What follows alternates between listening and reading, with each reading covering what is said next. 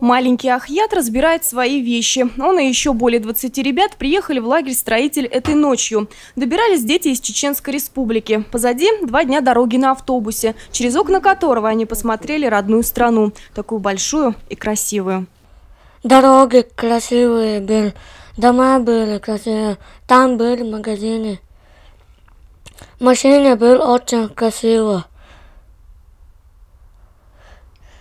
Сколько вы?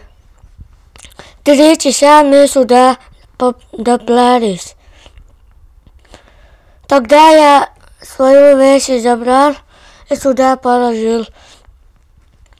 Тогда я лягу спать.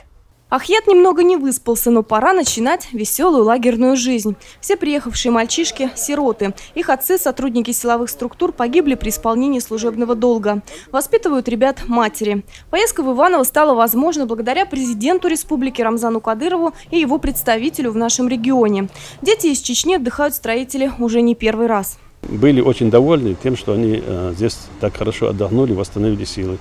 Э, дома очень много писалось о том, что они были в Ивановской области и как здесь принимали хорошо.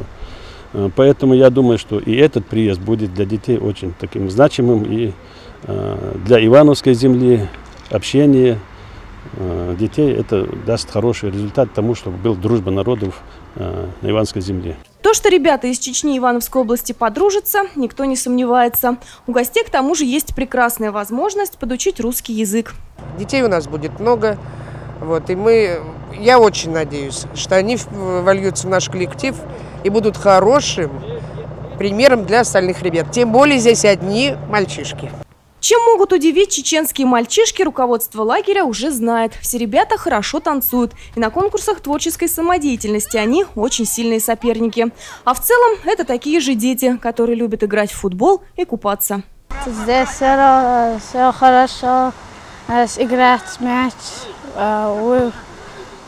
плавать на воде. Все хорошо здесь.